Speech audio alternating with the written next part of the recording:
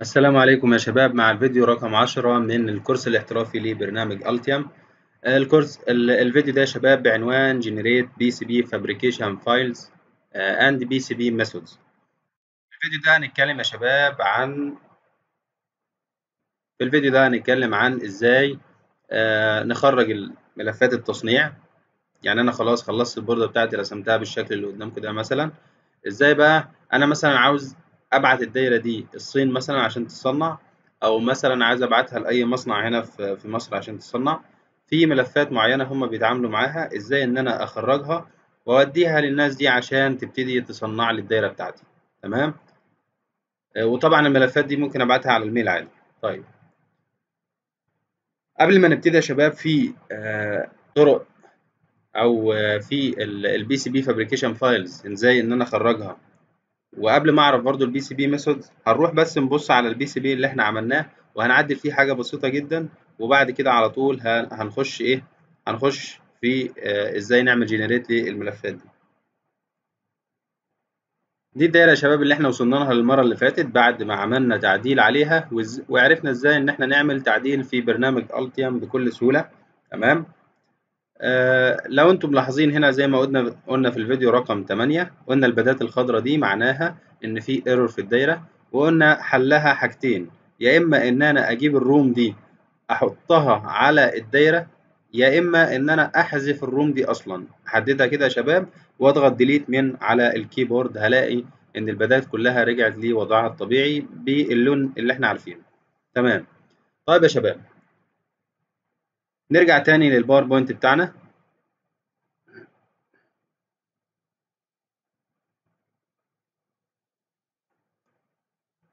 قبل ما نتكلم على ال generate لل fabrication files يا شباب لازم الأول نعرف إيه الطرق المتبعة في عمل ال PCB تمام؟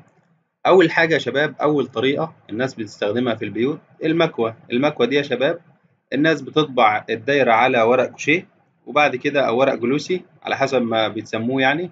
وبعد كده بالمكوة بيبتدي إن هو يكوي الم... ال... الورق ده على النحاس فالدايرة بتطبع على النحاس وهكذا يعني. دي طريقة آه ليها شروحات كتير جدا على النت وطريقة سهلة جدا و simple جدا آه ممكن تعملها في البيت.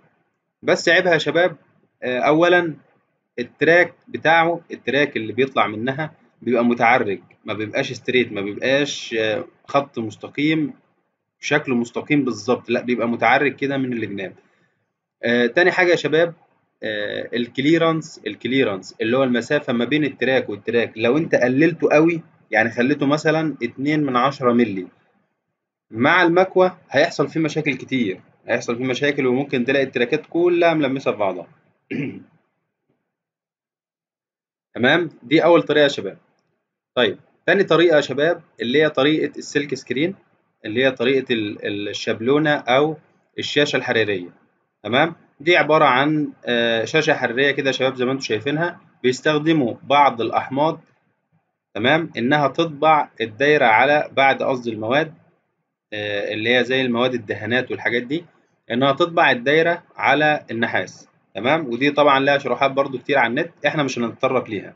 إحنا بس بنعرف الأنواع المختلفة وعيب كل طريقة إيه؟ وإيه أفضل طريقة؟ وإيه الطريقة ال ال الأمثل إن أنا أشتغل بيها؟ تمام؟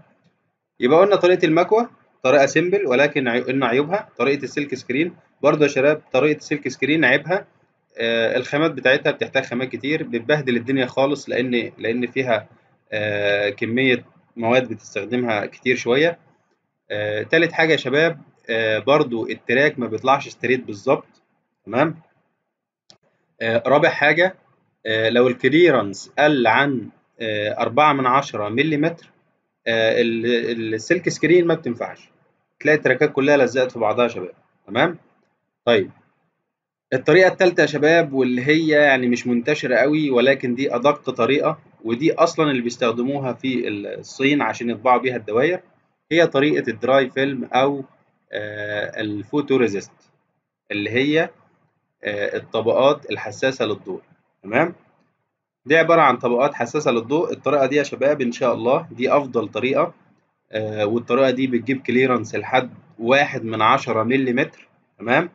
يعني بتجيب دقة عالية جدا. ال track بيطلع straight بالظبط تمام؟ آه، المواد بتاعتها المستخدمة فيها مش غالية ولا حاجة تمام؟ آه، فدي أفضل طريقة اللي هي الأخرانية دي. تمام. طيب يا شباب أول طريقة اللي هي بالمكوى دي لو أنا عايز أشتغل بالمكوى في البيت المفروض إن في ملفات أطلعها من برنامج ال PCB اللي أنا شغال بيه سواء Altium أو غيره.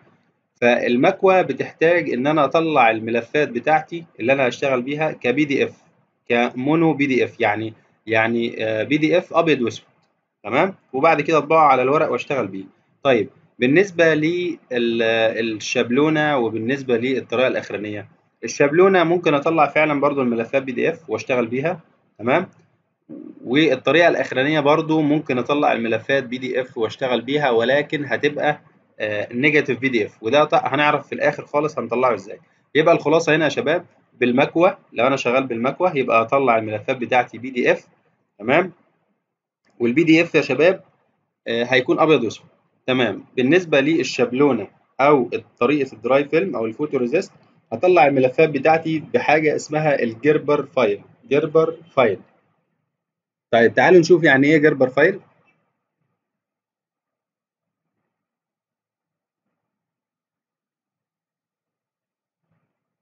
زي ما أنتم شايفين كده شباب هنا بيقول إيه؟ بيقول the Gerber format is an open 2D binary vector image file format. It is the standard file used by printed circuit board. يعني بيقول لك إيه؟ بيقول لك ال Gerber format دي هي open 2D binary vector image يعني إيه؟ يعني عبارة عن vectors binary vector في بعدين x و y يعني بيديك أبعاد لكل نقطة في الدايرة في ال X وال Y تمام؟ فهي عبارة ال Gerber format دي عبارة عن جواها عبارة عن vector طيب وبيقول لك it is the standard file used by printed circuit board industry software to describe the printed circuit board image. يعني بيقول لك دي الطريقة ال standard المتبعة في عمل ال PCB أو المتبعة في الصناعة عشان ال software اللي بيستخدم في المصانع بيقدر يتعامل معاها.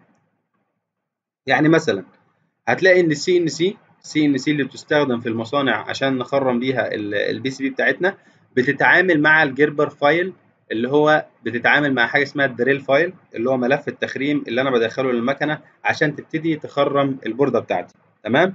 كل الكلام اللي أنا بقوله ده يا شباب هو كلام نظري ولكن في, في نهاية الكورس وإحنا بنتعلم إزاي نصنع ال PCB بطريقة ال dry film كل الحاجات دي هقولها لكم تاني وهتبقى واضحة جدا. تمام؟ طيب ال Gerber files يا شباب كل اللي أنا عاوزكم تعرفوا عنده عن ال Gerber file ان ال Gerber file ده حاجة أنا بخرجها من البرنامج عشان أبعتها للشركة المصنعة عشان تبتدي تصنع لي البوردة بتاعتي. سواء بقى هبعت للصين أو هبعت لشركة هنا في مصر أو في أي حتة هم بيتعاملوا مع ال Gerber file. تمام. طب ال Gerber file يا شباب آه عبارة عن ملفات بس بيكون لها extension يعني هتلاقي الملف هتلاقي اسم الملف هنا ومثلا dot GTL زي ما هنشوف دلوقتي.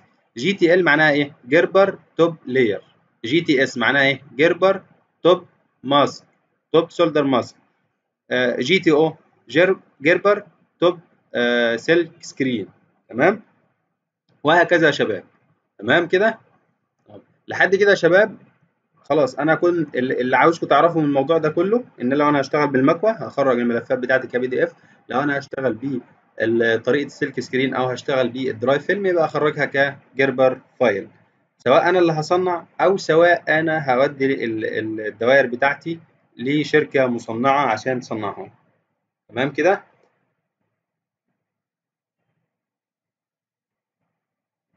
دي الدايرة بتاعتنا يا شباب. عاوزين نعرف الأول خالص إزاي أطلع ال PDF اللي أنا هشتغل بيه من البرنامج. أول حاجة يا شباب هاجي هنا من قائمة file.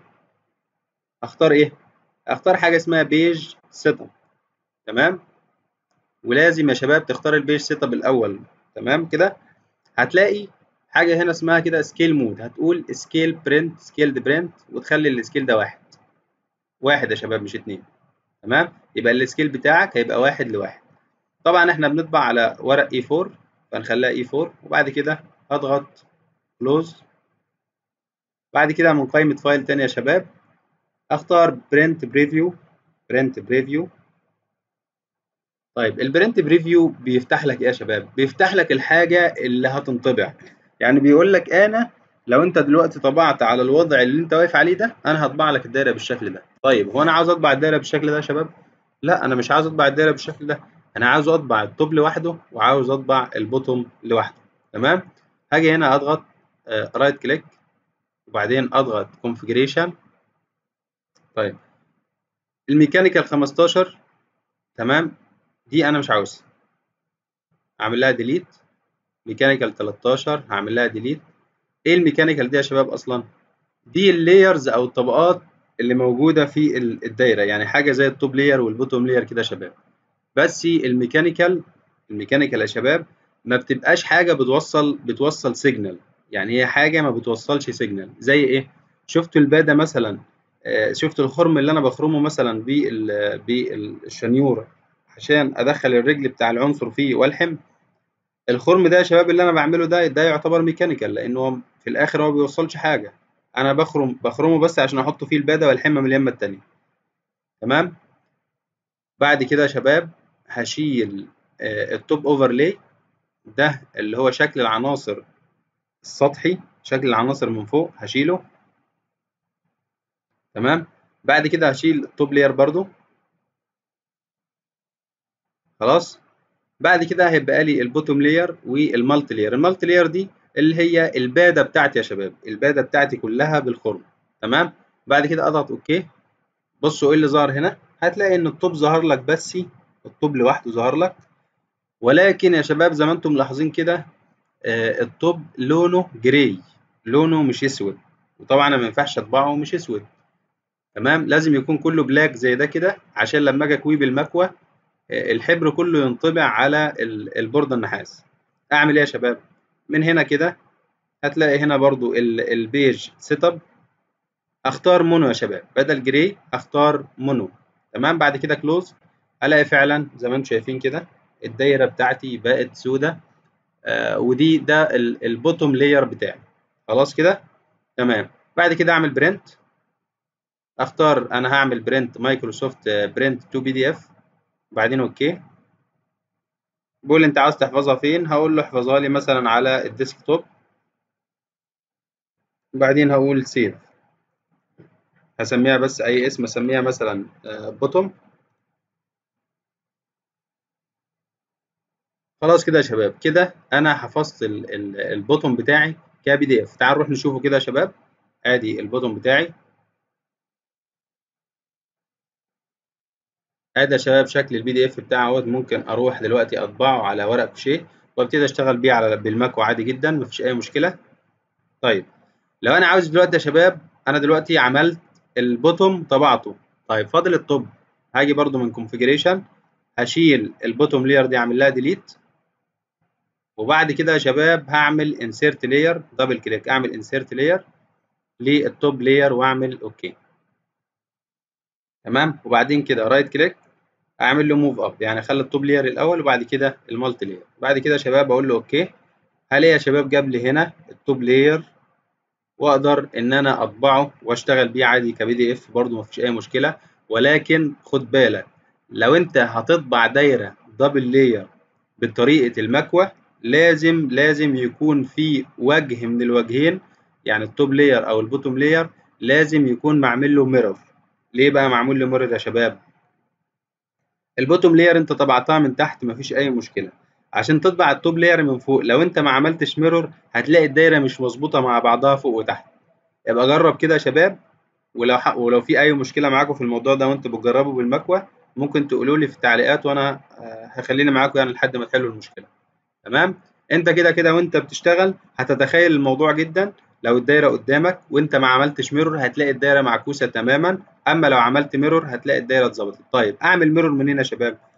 right click كده يا شباب configuration هتلاقي فيه هنا كلمة mirror تلاقي فيه هنا كده كلمة mirror اللي هي دي.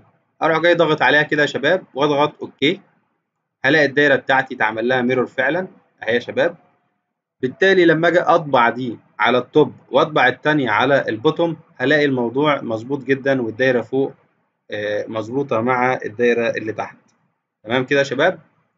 طيب دي الطريقة العادية اللي الناس كلها بتشتغل بيها في البيت ولكن دي طريقة أنا ما بحبش أشتغل بيها. أنا بحب أشتغل بطريقة ال dry film آه، اللي هي الطريقة الأخرانية طريقة نظيفة جدا وفي نفس الوقت بتطلع شغل عالي جدا جدا جدا.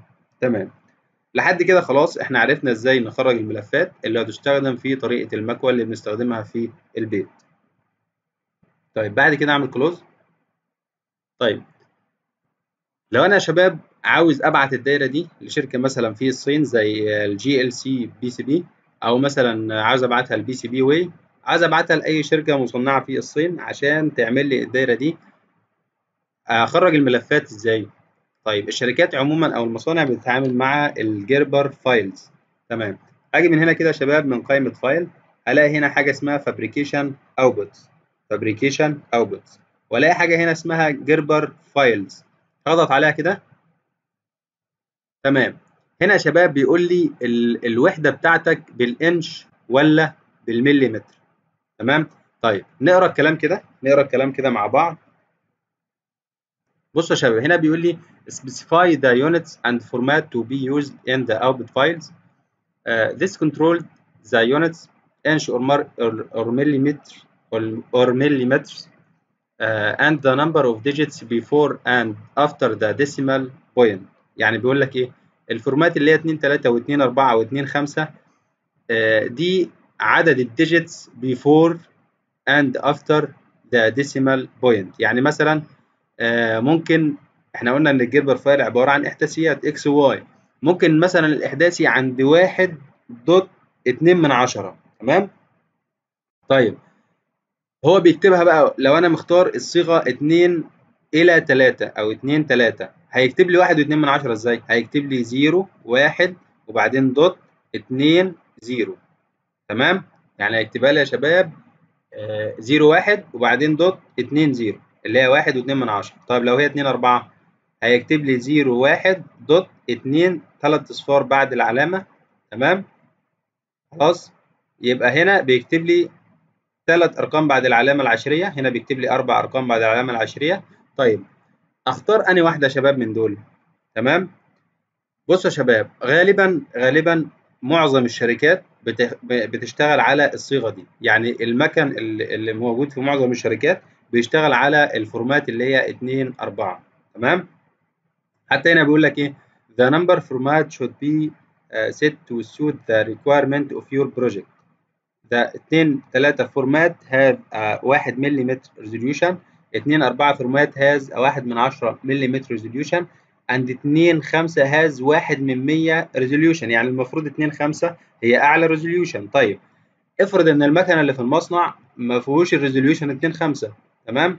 فأنا بقول لك إن معظم المكن بيشتغل على الصيغة 2 4 هم هناك في المصنع لو لقوا الصيغة دي مش مظبوطة عادي هو بيعدلها هناك. بس ال default اختارها 2 4 طيب تمام. طيب يا شباب آه تعالوا بقى على ال layers اللي إحنا عاوزين نطبعها صغر الشاشة تاني. هنا يا شباب بيقول لي انت عاوز تطبع any layers يعني عاوز تطلع Gerber file ل any layers عندك. فأنا عشان ما تعبش دماغي يا شباب هقول له ال layer ال layer اللي أنا مستخدمها هي دي اللي هتطبعها لي. إزاي؟ يعني أنا مستخدم top layer ومستخدم bottom layer ومستخدم آه solder mask آه طبعا أنا ممكن أقول المسميات دي وفي ناس مش عارفاها فممكن نيجي هنا على الرسمة أوريكم المسميات دي وبعد كده نرجع تاني للشاشة دي. ده شباب الأحمر ده هو ال top layer الأزرق اللي تحت ده ال bottom layer المكونات اللي فوق دي يا شباب المكونات اللي هي اللي فوق اللي هي الصفرة دي اللي هو الشكل الخارجي ده الأصفر ده يا شباب ده ال top overlay تمام؟ اللي هو الأصفر ده. طيب. في حاجة تانية هنا أنا هحتاجها تمام كده؟ تعالوا تعالوا نختار كده used on يعني بقول له ال layers اللي أنا مستخدمها هي دي اللي أنت هتطبعها لي. فأنا هقول له used on كده يا شباب هلاقيه اختار ليه؟ هلاقيه اختار ال top overlay اختار ال top solder اختار ال top layer اختار ال bottom layer اختار ال bottom solder تمام؟ اختار mechanical 1 mechanical آه 13 mechanical آه 15 تمام؟ كل ال layers دي يا شباب كل ال layers دي يعني ال bottom paste وال top paste. دي طبقة كده يا شباب لما تيجي انت تطبع دايرة في الصين بتلاقي إن ال pad ده جاية لك فيها طبقة داخلية كده بتلمع. يعني يعني طبقة كده عاملة زي القصدير وبتلمع. ده اللي هو ال top paste يا شباب. لو انت شفت اي دايرة جاية من الصين هتلاقيها معمولة بالشكل ده.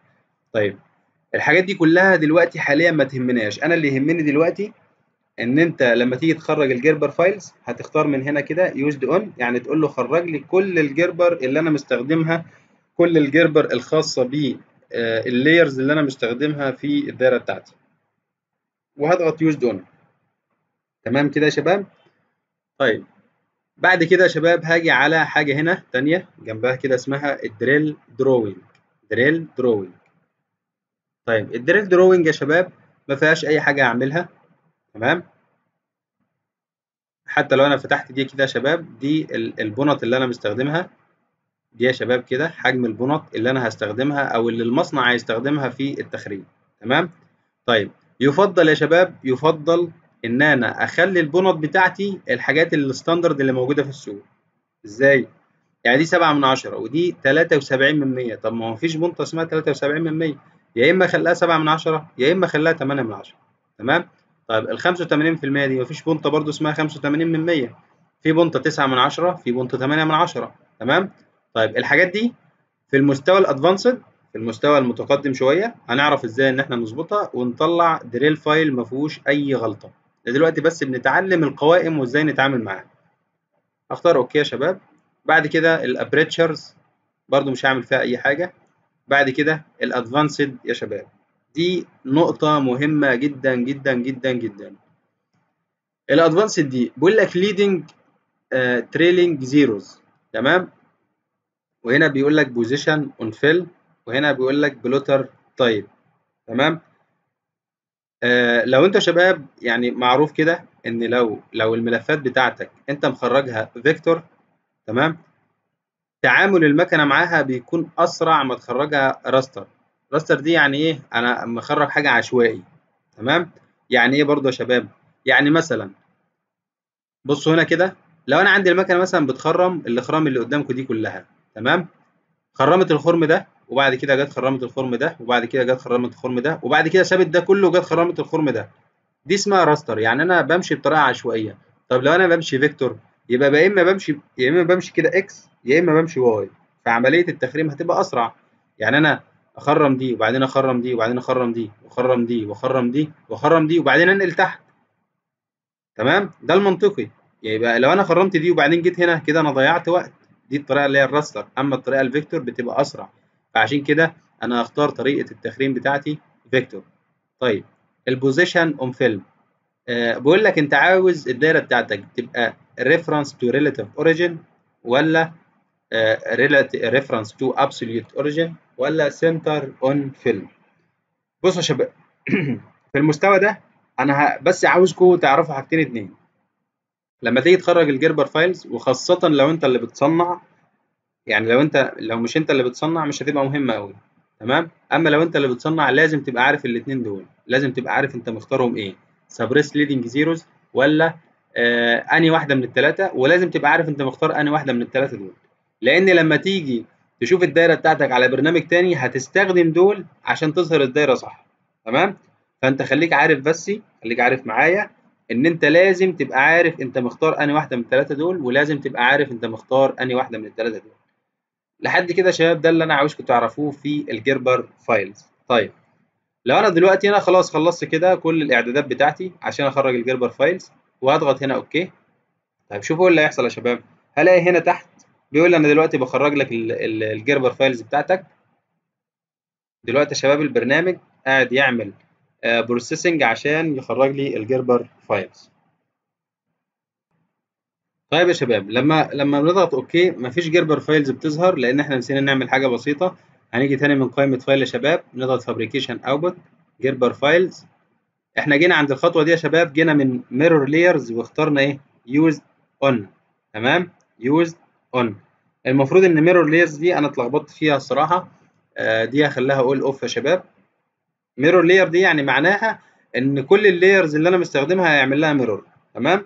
لا دي أنا مش عاوزها يا شباب. دي all off دي هترجعوا تاني لنفس الخطوة دي. خليها all off وهنا بيقول لك plot layer يعني ال layers بقى اللي انت بتتعامل معاها أنا هستخدمها وأطلع لك ليها ال Gerber file فبقول له used on يعني كل ال layers اللي أنا مستخدمها هي دي اللي هتطلع لي ال Gerber file ليها. هلاقيه علمني العلامات دي؟ أما دي يا شباب قائمة ال mirror دي تأكدوا إن مفيش حاجة فيها متعلمة. تمام؟ بعد كده كل الضبط اللي إحنا ضبطناه هتلاقيه مضبوط زي ما هو مفيش حاجة فيه اتغيرت. تمام؟ بعد كده هضغط okay يا شباب هلاقي ال Gerber files خلاص ظهر لي أهوت يا شباب زي ما أنتم شايفين. آدي ال top اللي هو ال bottom اللي هو الأزرق وال top تحته اللي هو الأحمر. طيب. ملفات ال Gerber يا شباب Altium حافظها فين دلوقتي؟ لو إحنا جينا كده طلعنا بره. شفت الملف اللي أنا حافظ فيه الدايرة؟ آدي الملف اللي أنا حافظ فيه الدايرة يا شباب أهو. هلاقي Altium يا شباب ضاف لي ملف زيادة هنا اسمه Project Output for Timer 3 5 باسم ال project اللي أنت عامله. لو فتحته كده يا شباب هلاقي فيه هنا أدي ال Gerber files Altium طلعها لي كلها. هلاقي ال GBL timer 3 خمسات دوت جي بي ال جي بي ال اللي هي إيه؟ Gerber bottom layer بعد كده GBS Gerber bottom solder تمام؟ بعد كده GTL Gerber top layer بعد كده ال GTS اللي هو Gerber top solder وهكذا يا شباب. طيب لحد كده يا شباب أنا طلعت ال Gerber files بتاعتي. فاضل حاجة واحدة بس أخرجها اللي هي بقى ال drill file اللي هو ملف التخريم يعني المفروض إن إن الملف التخريم ده بدخله على ال CNC عشان يبتدي يخرم لي الإخرام دي باستخدام ماكينة ال CNC تمام؟ طيب هاجي هنا كده يا شباب. هاجي هنا في ال PCB برضو من file. اختار fabrication output اختار حاجة هنا اسمها NC drill files طيب NC drill file هيقول لي برضو انت شغال ب format إيه؟ لازم اختارها 2 4 لأن أنا في ال Gerber file كنت مختارها برضو 2 4 تمام؟ طيب فاكرين لما كنت بقول لكم لازم تكونوا عارفين أنتوا شغالين على أنهي واحدة من دي وشغالين على أنهي واحدة من دي؟ تمام؟ لازم أختار اللي أنا كنت شغال بيه في ال Gerber file لازم أختاره هو هو نفس اللي أنا هشتغل بيه هنا. يبقى لو أنا كنت مختار في ال Gerber file suppress leading zeros يبقى لازم أختار هنا suppress leading zeros في ال drill file. ولو أنا كنت شغال reference to absolute origin يبقى لازم أختار reference to absolute origin تمام؟ اضغط هنا okay. بعد كده بقول له تحت كده اعلم على دي بقول له generate EIA binary drill file يعني طلع لي file اسمه آه file binary dot DRL. ده اللي المكنة هتتعامل معاه. بعد كده يا شباب اضغط okay كده. فبيقول لي هنا آه ال units. يعني إيه units؟ يعني بيقول لي ال units بتاعتك هل هي ال English أو ال metric يعني milli inch ولا آه ولا آه بتاع ده ولا مليمتر. تمام؟ وبعد كده بيقول لي انت شغال 2 4 ولا شغال 2 3 ولا شغال 2 5 وبعد كده بيقول لي ال type اللي انت شغال بيه هو الابسوليوت والتريلينج ابسوليوت وريلاتيف وتريلينج زيروز اللي هو اللي أنا كنت بقول لكم لازم تكونوا عارفينها. أقول له فعلا هم دول واقول له okay. تمام؟ وبعدين أقول له okay تاني يا شباب. هلاقي أدي ال drill file يا شباب. أدي ملف التخريم. المفروض إن المكنة بتيجي عند الإخرام دي وتروح تخرمها بالبنطه المناسبة ليها. طيب عايز أحفظ ملف التخريم ده. هعمل هنا file export save drill تمام؟ واختار ال layers دي اللي هي dot TXT وال unit بتاعتي هختارها 2 4 لازم يا شباب تركزوا في الحاجات دي عشان ما تبعتش دايرة الصين وترجع لك تاني. تمام؟ okay. بعد كده okay. بيقول لي عاوز تحفظه فين؟ أقول له مثلا حطه لي على ال desktop هنا. أقول له okay. okay. كده خلاص يا شباب أدي ال drill file. الاثنين file دول يا شباب اللي هم دول. اخدهم كده cut وأروح أحطهم في ملف الدايرة بتاعتي. هنا أعمل new folder